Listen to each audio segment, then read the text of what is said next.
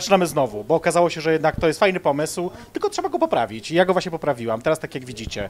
E, jesteśmy w nowym miejscu, nagrywamy te szoty tym razem e, w Loko, warszawskim Loko e, i e, mam nadzieję, że tutaj będziemy już teraz zawsze się widywać, e, no i będziemy ten, nagrywać. Jest z nami publiczność na żywo, która jest cudowna, wspaniała, kocham ich, że im się chciało tu dzisiaj przyjść. E, No i oczywiście jest dzisiaj też ze mną mój gość, Andrzej, który jest specjalistą od zdrad. Dzień dobry, bardzo mi miło. Może być dobry wieczór, bo to w czwartek o 19 wyjdzie, więc może być dobry wieczór. Dobry wieczór, bardzo mi miło. I ten, z, y, zanim zaczniemy rozmowę, to chcę powiedzieć, że będziemy pić, pić wódkę. Wiem, spodziewam się tego. I będzie to dobra wódka. A jaka? Czysta, kurwa, jaka. A, czysta, no to dobrze. Czysta y, wódka y, zimna. Musi być zimna. Zimna. Chodź, to się tak nachylmy. Mamy takie, te szoty są małe, trochę mnie to denerwuje, to są dwudziestki, ale... Dwudziestki tylko? A, daj spokój. Będziemy musieli co chwila machać rękoma i polewać.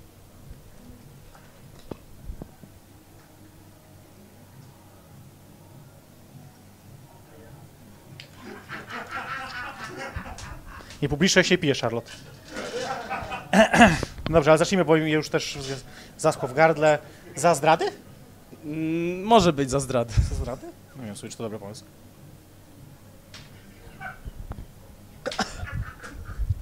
Nie jestem przyzwyczajony do picia bez popity. O Jezu! Nie takie rzeczy w ustach miałeś, przestań. Dobrze. Kiedy w ogóle jest zdrada? Bo to jest dla mnie takie pytanie chyba zasadnicze, żeby przejść dalej, nie? Bo żeby gadać o tym, czy geje zdradzają częściej, bo takie jest pytanie dzisiejsze, e, to musimy wiedzieć w ogóle, co to jest zdrada. Wbrew pozorom to nie jest takie proste, mi się wydaje. Bo oczywiście są takie oczywiste momenty typu, typu że y, mamy partnera, partnerkę, z którym jesteśmy, prawda, na wyłączność i nagle stwierdzamy, że jednak nie jesteśmy bez uzgodnienia tego z tą drugą osobą. I wtedy jakby, no zakładam, że to jest zdrada taka najbardziej oczywista, nie? Tak, zgadza się. Ostatnio miałem taką rozmowę z koleżanką, na, właśnie na ten temat, który poruszyłaś. I ona podała taki przykład, była taka gra w karty i tam były takie dylematy, że musisz wybrać A lub B. I było pytanie, że powiedzmy, nie wiem, jest XXI wiek, wynaleziono już możliwość na, że tak powiem, na odległość stymulowania ośrodków w mózgu odpowiedzialnych za przyjemność Okej. seksualną.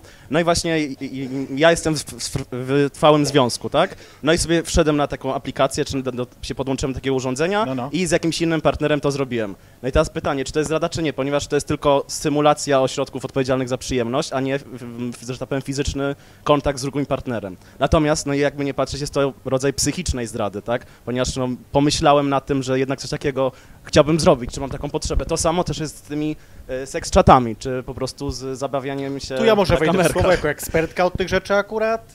No Seks właśnie. czaty to nie jest nie, żartuję. No. A takie urządzenie, o którym mówiłeś, takie teoretyczne? Takie teoretyczne urządzenie to już jest tak na granicy zdrady, natomiast dla mnie zdrada musi być, kiedy jest, powiedzmy, ta fizyczny kontakt. Natomiast... Natomiast to masz fizycznie, bo to jest stymulacja fizyczna. Tak, ale to nie ten partner stymuluje, tylko jakby, znaczy dobrze, okej, robi on to on, no tylko właśnie. że za pośrednictwem jakiejś maszyny. No tak samo, czy seks z robotem, kiedy będę w związku, jest zdradą, czy nie? Jeśli ma świadomość, to tak.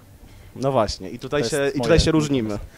To zacznijmy od, jakby od początku. Czy całowanie się z drugą osobą jest zdradą? Tak, całowanie się z drugą osobą jest zdradą. A wzajemna masturbacja? Tym bardziej. Nie, bo niektórzy mają różne granice. To jakby to, ja wiem, że to... Nie, ja uważam, że, że całowanie jest na najniższym poziomie. Dobra, dobra, zaczekaj, zaczekaj. To ma pytanie inne w takiej sytuacji. Ty jesteś nago, druga osoba jest nago, nie dotykacie siebie i wzaj- e, masturbujecie się sami jakby siebie, e, patrząc się na siebie. Ale w sensie ja go masturbuję, czy Nie, nie, nie, ty siebie, on siebie. I jestem, wtedy, jestem w stałym związku wtedy, tak? tak. No to jest kontrowersyjne, ale uważam, że to zależy. Od czego? To zależy od tego, jaką znajdę. To zależy od tego, jaką znajdę wymówkę na to, żeby uzasadnić, dlaczego jestem w tym miejscu. Akurat z tą osobą. To mi się bardzo podobało, to jest takie, nie, kochanie, to Znaczy, nie była słuchaj, ze zdrada. wszystkiego można wybrnąć. Mam uzasadnienie, to, to nie, jest tak jak zdrada. myślisz. To nie tak jak myślisz. Właśnie zawsze jest tak, jak ktoś myśli, no ale. A też bardzo, tak, zawsze wtedy tak jak myślisz. Ja pamiętam swoją pierwszą zdradę. Miałem wtedy 12, żartuję, y, centymetrów. Miałem wtedy 12 centymetrów. Y, nie, nie. Byłam z chłopcem jednym, a y, z drugim w tym czasie całowałem się właśnie w klubie i uważałem, że to była zdrada, i, ale powiedziałam temu mojemu następnego dnia.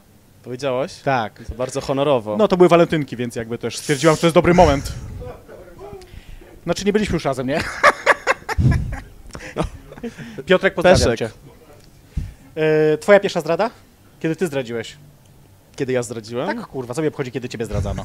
Znaczy ja tutaj przyszedłem, żeby się poużalać na temat moich byłych, jacy byli. Dobra, zaraz, na razie są ważniejsze tematy. No co, moja pierwsza zdrada była z moim pierwszym chłopakiem.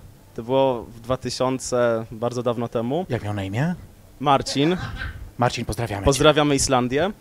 I polegało to na tym, że byliśmy razem chyba już z pół roku i niestety poszliśmy na takie gay party. Niestety. Znaczy- Niestety musieliśmy iść na imprezę. Tak, poszliśmy na imprezę, w której też był alkohol, który zaraz możemy polać, bo już trochę... Ja właśnie chciałem tak zasugerować, żebyś ty mówił, a ja będę Już polewać. czytam w myślach. Miłość. No. Ale nie zdradzaj mnie. Więc może będę kontynuował, a ty nam polej. No i poszliśmy na tą imprezę i tam był taki, powiedzmy, organizator, bo to była taka domówka. No i było widać, że ten organizator ma się... Seks grupowy. Nie, nie, nie, nie, nie, to, to jeszcze nie były te czasy, ja miałem 18 lat, ja byłem grzeczny. Wtedy też był seks grupowy. Ale nie, To nie w jest moim wynalazek ostatnich dwóch lat. Nie w moim wykonaniu. No i był ten organizator, który widać, że miał się bardzo ku mnie, bez, bez większej wzajemności. Natomiast y, mój chłopak miał wtedy gorszy dzień, wydawał się taki chyba, nie wiem, wyposzczony czy coś, a mnie bolała głowa, no nie wiem. Oczywiście, że W każdym razie, mnie boli głowa. w każdym razie nie, nie miałem na to ochoty. No i później rano się dowiedziałem, że jak, jak ja się już upiłem i, i zasnąłem, się dowiedziałem, że on wtedy w tym w drugim pokoju z tym organizatorem coś tam, coś tam. No i było mi... Zaraz było, coś tam, coś tam. Troszeczkę chociaż szczegółów. Nie musi być dużo, ale troszeczkę chociaż szczegółów. Po prostu e, odbyli stosunek płciowy. Znaczy inną czynność seksualną chciałeś powiedzieć. Nie, nie inną czynność seksualną. Inną. Nie, inna czynność seksualna to jest wszystko oprócz oralu i analu, tak? Nie, nie. Inna Tak. to jest wszystko po, poza waginalnym. Tak? Tak. To jest polskie prawo. Ono jest hetero ukierunkowane, wiesz. Aha. No to się dowiedziałem czegoś Czyli dzięki mieli, temu czyli mieli programowi. inną czynność seksualną. Czyli mieli inną czynność seksualną? Pewno nie jedną. Pewnie tak. Ja się obudziłem rano i było mi przykro, a powiedział mi to właśnie ten organizator, bo mój były chłopak już nie został na tej imprezie. Wyszedł, Znaczy, no tak, wyszedł, nie został tam na zdradził noc. cię, ruchał się z tym Wyszedł, chłopakiem i tak. wyszedł, zostawiając ciebie na miejscu. Tak było. Ja, ja, ja tam zostałem sam z nim i się, obudziłem, Islandię. i się obudziłem rano i że tak powiem, ten chłopak mi to powiedział, było mi przykro i jakoś on był taki napalony, ja też się w sumie zrobiłem napalony O nie! i zrobiłem to z tym chłopakiem. Dlaczego, dlaczego mnie to jakoś nie dziwi w sumie? No właśnie, to trzeba chyba Właśnie, zapić. właśnie. Za, za z- zdradzających. Za, za nas samych? Oblałam się. Pi.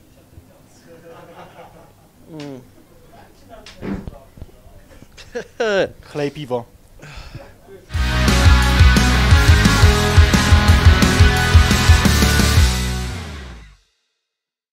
To jest taki 18-letni właśnie romans, no, że wiesz, że tak dokładnie. No, mogłeś być wszystkim w moim życiu, no. a okazałeś się świnią. To było coś ten desy, już planowaliśmy przyszłość i tak dalej. Ale, w ko- ale, 18 lat. ale koniec końców wróciliśmy do siebie jeszcze na całe dwa lata. O nie, co za gówno. No. Ale to niedawno? To było... No, a, ja- ja wiem, że młodo wyglądam, ale już osiemnastkę miałem dawno temu. Ja wiem, ile ty A masz wtedy lat. miałem 18 lat. A, no to już jakiś czas. Pamiętaj, że Grindr kłamie. Ja wiem, ja mam inne źródła. Inne źródło. okej. Grinder, błagam cię. No dobra. O właśnie, to jest dobre pytanie. A pisanie z kimś na Grinderze i wysłanie sobie takich zdjęć, czy to jest zdrada? To jest ym, nieuprzejme, ale to nie jest zdrada. Nieuprzejme. C- Kochanie, kochanie, byłem wobec ciebie wczoraj nieuprzejmy. tak, tak się, tak się robi, tak? Y, Słuchaj, jak ja jestem w związku, to nie używam tych głupich aplikacji randkowych, tak? Też lubię, że mówisz o nich randkowe, ale dobrze. No, znaczy tych popularnych aplikacji randkowych, no. Ja nazywam je społecznościowymi. Ich celem jest budowanie społeczności. No, No dobra, właśnie, kolejne moje pytanie jest takie, czy jak już zdradzisz, to czy trzeba to powiedzieć? tak, uważam, że nie ma sensu tego zatajać, bo to prędzej czy później wyjdzie, natomiast jeżeli tego nie powiem, albo partner tego nie powie, czy partnerka, to wówczas to będzie we mnie lub w nim narastało, gromadziło się i będzie to prowadziło do bardziej negatywnych emocji, czy do jakichś innych wydarzeń. Ta, To ja znów, to ja tak zarysuję teoretyczną sytuację. Proszę. Zdradzasz swojego faceta z kimś, ten ktoś umiera następnego dnia w wypadku samochodowym, I się nikt nigdy nie nikt dowie. nigdy nie może się dowiedzieć, czy wtedy trzeba powiedzieć swojemu partnerowi, czy nie. Uważam, że trzeba, ale ja bym nie powiedział. Haha, właśnie. Czemu? No bo. Znaczy, to- okej, no to może trochę stoi w sprzeczności w tym, co powiedziałem przed chwilą, że najważniejsza jest szczerość, ale skoro ten, ta osoba już tak nie żyje, się nikt nigdy o tym nie dowie, tylko ja o tym będę wiedział i już więcej tego nie zrobię, to Z tą nie, osobą. albo ogólnie, to rzeczywiście nie ma sensu może burzyć tej relacji, mówiąc Czekaj, z tą osobą, a może zrobić z tą osobą. Czy nekrofilia to zdrada? Jak już teoretyczne, jak już rysujemy teoretyczne sytuacje, to wejdźmy w to na chwilę. Do, na chwilkę wejdźmy do tego bagna. Czy nekrofilia to y, zdrada? Pomidor. Pozdrawiamy wszystkich nekrofili, którzy oglądają ten program. Myślę sobie, że to, co jest ważne dla mnie to, w tym, co mówimy, to to, że to jest jakby y, mocno... Y, że to jest skomplikowane wbrew pozorom. Temat zdrady? Tak, Oczywiście, że tak. bo to się wydaje takie oczywiste.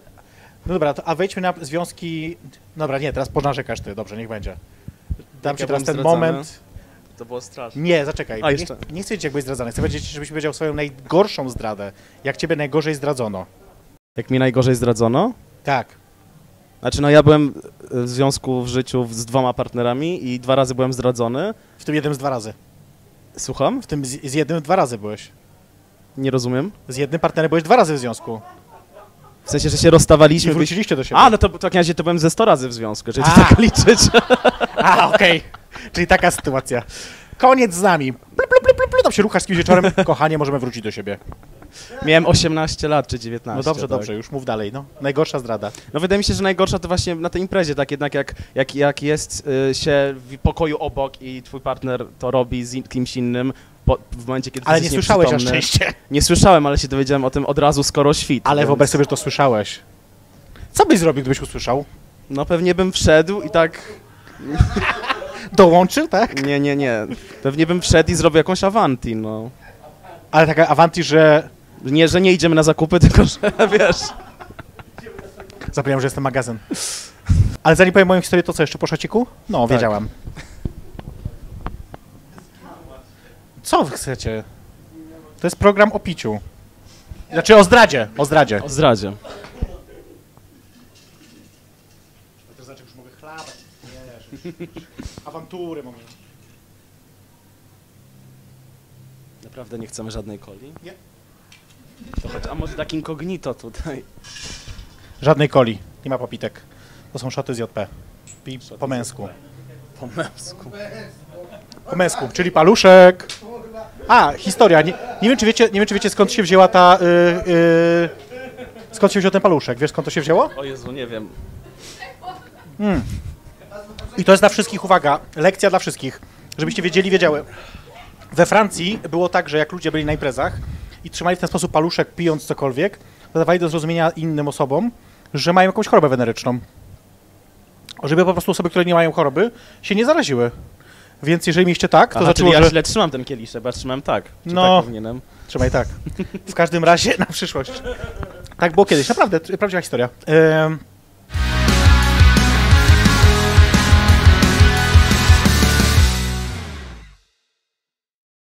Przychodzi mi jeszcze jedna taka historia no, no. do głowy. Nie grze przy mikrofonie, jak się stresujesz, tylko mów. A no tak, bo to widać. Nie, bo to była akurat Tak, to sytuacja... widać, są tutaj jakieś kamery, nie wiem, czy widzisz ustawione. O, rzeczywiście.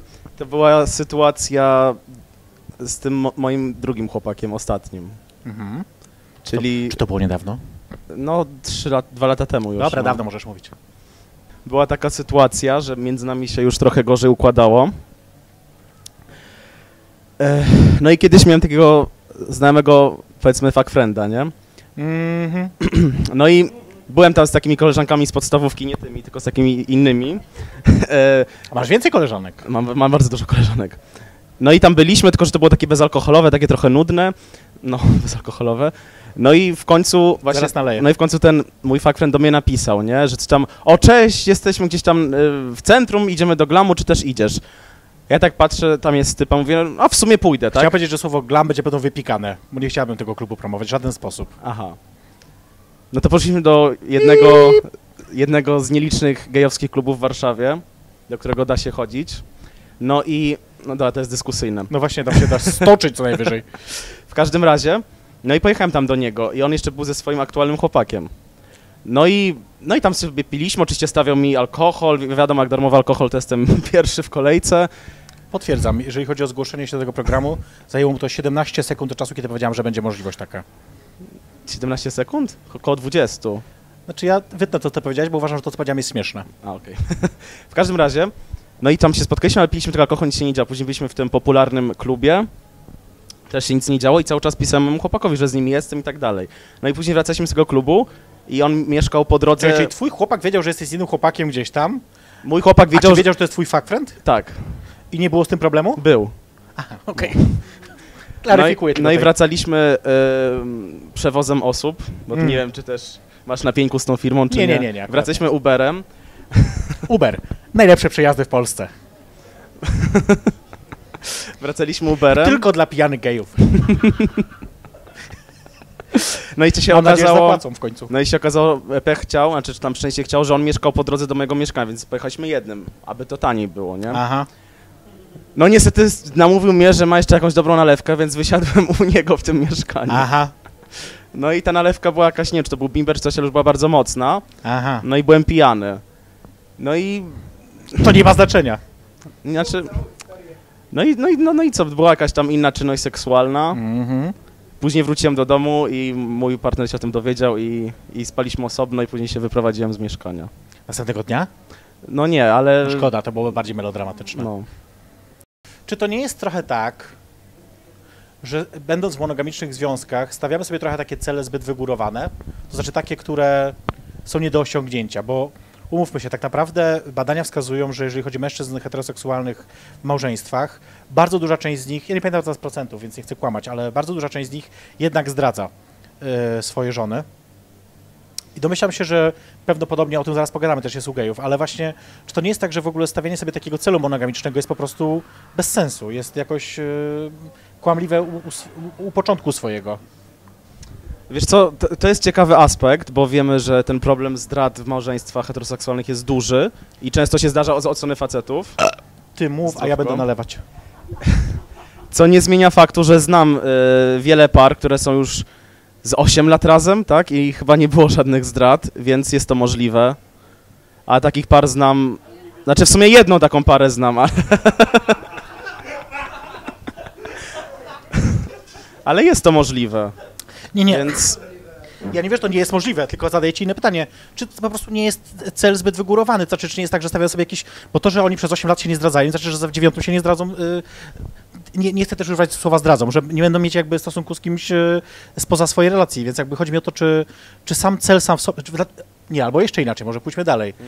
Czy monogamia jest tego warta? Czy naprawdę nam aż tak zależy na tej wyłączności seksualnej? Uważam, że tak. Czemu? Czemu to jest tak Jesteśmy ważne? może, nie wiem, uwarunkowani kulturowo, może genetycznie, że potrzebujemy się docelowo wiązać z jednym partnerem czy partnerką, Dobrze, ale wiązanie się, związek. wiązanie się oznacza raczej związanie się emocjonalne i tak dalej. Ale czy koniecznie oznacza brak seksu z innymi osobami? Wydaje mi się, że tak, bo z, z doświadczenia wiem, że za każdym razem, kiedy się otwiera związek, jest już, że tak powiem, równia pochyła w dół ku zakończeniu tej relacji. Więc Nie chcę cię teraz obrażać, ale jakby to, że to masz takie doświadczenie, znaczy, że, że tak jest rzeczywiście zawsze, nie? masz rację, być może ja miałem Nie. złe doświadczenia, co nie, zmie- co nie zmienia faktu, że patrząc po moich znajomych, za każdym razem, kiedy były otwierane związki, kończyło się to prędzej, no po prostu bardzo szybko się kończyło, tak? Bo się okazywało, że zaraz druga osoba sobie po, pozwoliła na trochę za więcej, za dużo, tak? Było ustalane, że na przykład, nie wiem, są tylko trójkąta, się okazywało, że ktoś się prywatnie Mhm. spotykał, później ktoś się zauroczył, zakochał, no i dupa, więc...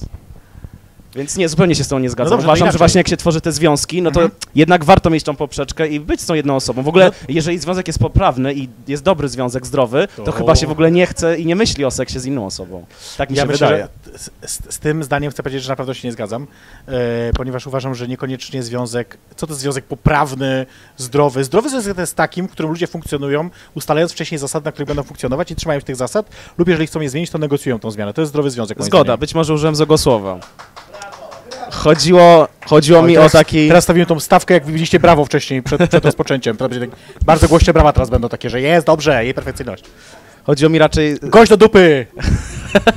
Chodziło mi raczej, że zdrowy w tym ogólnie pojętym rozumieniu. Ja wiem o co ci No, chodzi, no, no. natomiast chciałbym też, żebyśmy jakby unikali pewnych słów, które są oceniające, nie?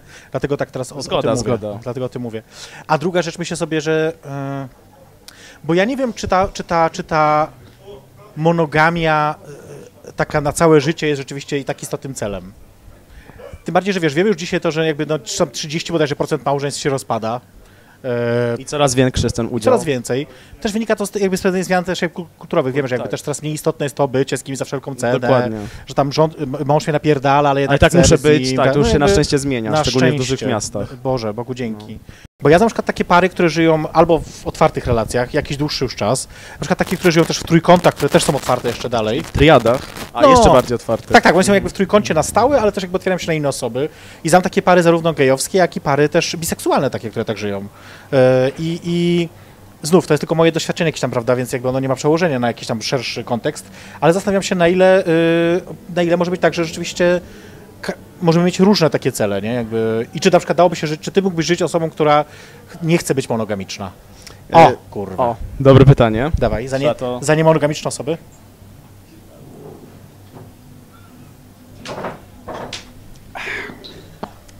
Przestań się kurwa krzywić.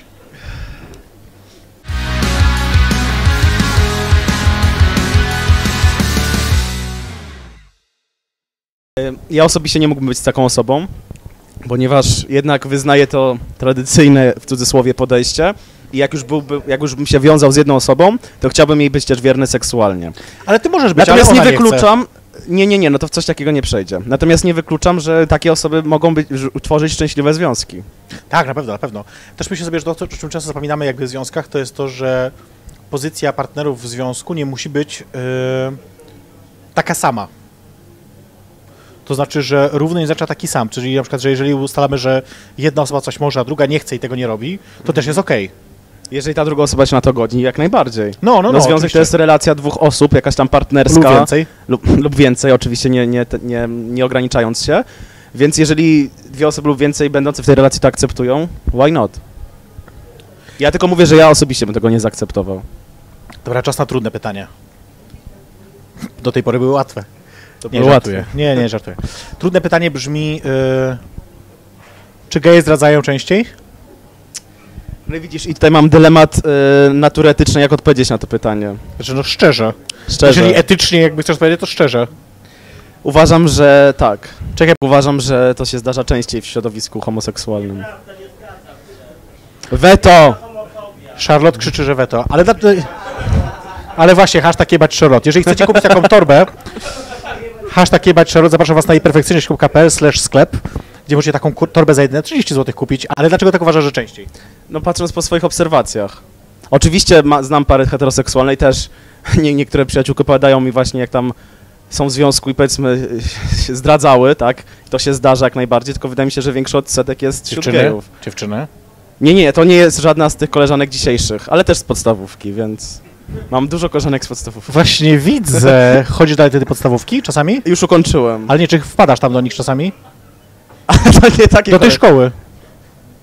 Czy ale to są koleżanki z mego Tak, ale czy rocznika. odwiedzasz tą szkołę? O to mi Tak, chodzi. odwiedzam. To Wracam jest w tam Warszawie sercem. jakoś? No jestem z Warszawy, chyba widać. To musimy tam... Właśnie tak widać. To ja może też bym wpadła z tobą tam. Nie. Niektórzy sugerują, że to może wynikać z tego, że geje to jakby z definicji mężczyźni. Tutaj nie będę wkraczać, nie będę wkraczać teraz jakby tam we wszystkie tam skomplikowane kwestie dotyczące płci. Na potrzeby tej rozmowy ustalmy, że tak jest. Nie denerwujcie Znaczy, to jest się. trochę ograniczające wobec ludzi, którzy są gender fluid. Przepraszam cię, właśnie pozwól mi dokończyć. okej. ustalmy na potrzeby tej dyskusji tylko, że tak jest. Nie piszmy o tym w komentarzach. Ja wiem, że tak nie jest. No. To jest tylko na potrzeby eksperymentu myślowego. Zostawmy to. Nie wkurwiajcie się. Nie wkurwiajcie też mnie. Już. Więc ustalmy rzeczywiście, że tak jest, że, że geje to przede wszystkim mężczyźni. No dobra. E, a mężczyźni, zdaniem wielu osób, mają predyspozycje, no nie wiem, biologiczne do tego, żeby, tak mówią niektórzy, ja pytam ciebie teraz o to, nie patrz na mnie takim wzrokiem. To znaczy tak, to co powiedziałaś jest bardzo logiczne i ciężko się z tym nie zgodzić. Ty No, mów, a ja będę lać. e, ciężko się z tym nie zgodzić. Tak jak przytoczyłaś te badania, że w- jakiś tam sporo odsetek mężczyzn e, heteroseksualnych w związkach małżeńskich zdradza, a kobiet na pewno dużo niższy odsetek. Też oczywiście zdradza, ale dużo niższy, więc wydaje mi się, że to po prostu wynika z tego, że no, jesteśmy facetami, mamy większe potrzeby seksualne, nie wiem jak to nazwać i dlatego jak jest dwóch A to nie jest, facetów a to nie jest związku... po prostu kulturowe, że facetów się, facetów się wybacza bardziej zdrady, facet jak zdradza to jest ogierem, a No, kobieta właśnie jak to jest zdradza to, jest co mnie wkurwia, ale takie, takie są stereotypy kulturowe. To jest tak mocno utarte, dokładnie, że kobieta to się puszcza i się zdradziła, a facet to właśnie jest zdobywcą, tak? Czyli uważamy, że faceci też są dziwkami. Uważam, że tak. Jeżeli się Bardzo puścił, się to jest podoba. szmatą i koniec. Jest szmatą i koniec. I to będzie zajawka tego programu na pewno. To hasło teraz, które powiedzieliśmy. Ja myślę sobie, że to uwarunkowanie do zdrady, o którym tu mówisz, jest tylko i wyłącznie kulturowe, znaczy, że ono nie jest biologiczne, że faceci mają aż tak inną biologię, że muszą się ruchać non-stop, bo inaczej umrą. Uważasz, że naprawdę tak nie jest, że to po prostu jest kwestia Kulturowa, hormonów? Nie, uważam, że tylko i wyłącznie kulturowa, moim zdaniem. Albo w zdecydowanej większości y, kulturowa, jakby, no nie wiem, 90%, no. Ale tak już zbliżając powoli się do końca, bo już nie wiem, czy wiesz, że gadamy już tak dobre 45 minut. Ja to mogę przegadać cały wieczór z tobą. O zdradach? Nie, o różnych tematach. O innych czynnościach seksualnych? O, wolę, Nie, właśnie o tym tak bardzo nie chciałeś rozmawiać. Ustaliliśmy, że o tym za bardzo nie chcemy rozmawiać. Zgoda. Więc, y, więc może nie, ale zastanawiam się jeszcze na koniec, bo ja się nie zgodzę z tą tezą, że, że geje częściej zdradzają. Nie zgodzisz się? Moim zdaniem geje częściej potrafią przyznać się do zdrady. W sensie, że mamy bardziej, nie wiem, otwarte, no nie wiem, może umysły, tak? Jesteśmy bardziej nowocześni, się nie boimy o tym rozmawiać? Nie, nie, nie, nie, nie broń Boże nowocześni. Boże, broń Boże. Chodzi mi bardziej o to, że wiesz co, że jednak też pamiętajmy o tym, że związki e, różnopłciowe mają pewne wzorce istniejące. Rodzina monogamiczna, ojciec, matka, że muszą mieć dzieci, chuje muje. Natomiast jeżeli chodzi o związki jednopłciowe, nie mamy takich wzorców. My musimy je tworzyć od nowa, wszystko jakby od zera. Możemy się wzorować na tamtych, ale wiadomo, że to nie jest to samo, więc jakby to jest bez sensu. Więc jesteśmy też bardziej gotowi i gotowe na to, żeby pewne rzeczy no, o, o, omawiać, po prostu omawiać, mówić, mówić o nich jakby, nie? Że... Mówić głośno, przedyskutować. Tak, przedyskutować, nie? To ja myślę, że z tego będzie taki wniosek, z którym ja się chyba też zgodzę gdzieś tam, jeżeli pozwolisz, że go sformułuję, że otwarcie związku nie jest remedium na ratowanie związku. W zupełności tak, w 100%. Jeżeli ktoś po prostu chce się ruchać na boku, to będzie to robić. To będzie to robić, tak. I otwarcie związku wcale nie jest dobrym pomysłem na ratowanie tego na ratowanie związku. związku. Tak. Wypijmy teraz jeszcze szocika takiego malutkiego, bo to są takie malutkie szociki. No właśnie, przykro mi, że takie małe tutaj podają. Tak? Mm. No Ja właśnie, bym wolał tak jak na Ukrainie, tam są takie setki się pije. czemu takie małe dostaliśmy? Takie dwa wiader, małe wiaderka takie dwa. Mm, I teraz mi wchodzi, nie skrzywiłem się. No nareszcie, kurwa. Akurat na sam koniec.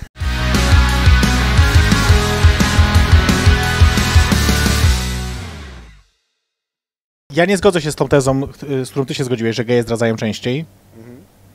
E, I chyba na tym musimy po prostu się rozstać, jakby na takim, że się nie zgadzamy z pewnymi rzeczami, ty i ja. Z pewnymi rzeczami się niestety nie zgadzamy, natomiast w innych kwestiach jesteśmy zgodni. Czy wiadomo, że ja mam rację, jakby oczywiste.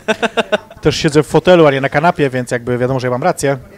Słuchaj, racja jest, twojsza jest bardziej twojsza niż mojsza, Zdecydowanie. tego nie E, przeskoczymy. Tym niemniej myślę sobie, że w ten sposób y, kończymy pierwsze y, po przerwie. Pierwsze w drugim sezonie, właśnie tak powinnam mówić, pierwsze w drugim sezonie szoty z JP. Zgadza się, było mi bardzo miło gościć, dziękuję za zaproszenie. No, wiedziałam. E, natomiast y, was wszystkich zapraszam oczywiście na kolejny odcinek. Jeżeli chcecie być na nagraniu i nie wiem, kiedy będzie to wyjdzie to tak naprawdę, ale kolejne nagranie mamy bodajże 8 października i będziemy rozmawiać sobie z polską gwiazdą gejowskiego porno. Początkującą, bardzo młodą, dopiero co zaczynającą. Dopiero po 18. Dopiero po 18, znaczy już po 18, ale partnerów seksualnych podejrzewam, że więcej Więcej niż ja? niż 18. A, Niż ty? A miałeś 18? Wiem, ostatnio ktoś mnie pytał, li- liczyłam to naprawdę, ostatnio ktoś mnie pytał o liczbę moich partnerów seksualnych w życiu i tak nie wiedziałem jakby tak naprawdę co, co zrobić i tak się zawahałem, po prostu powiedziałem, że między 50 a 100. Na, na pewno 100 nie, ale na pewno też 50 nie. no, no ja musiałem podać liczbę trzycyfrową. Ty dziwko. I tym właśnie kończymy dzisiejsze szoty z JP. Dziękuję wam wszystkim za to, żebyście Dzięki. obecności. Przede wszystkim dziękuję najbardziej publiczności naszej, która dzisiaj była tutaj. Dziękuję Andrzejowi oczywiście. Dziękuję. I dziękuję mojej wspaniałej ekipie. Widzimy się już wkrótce w kolejnym odcinku szotów z JP. A my się napijemy zaraz jeszcze.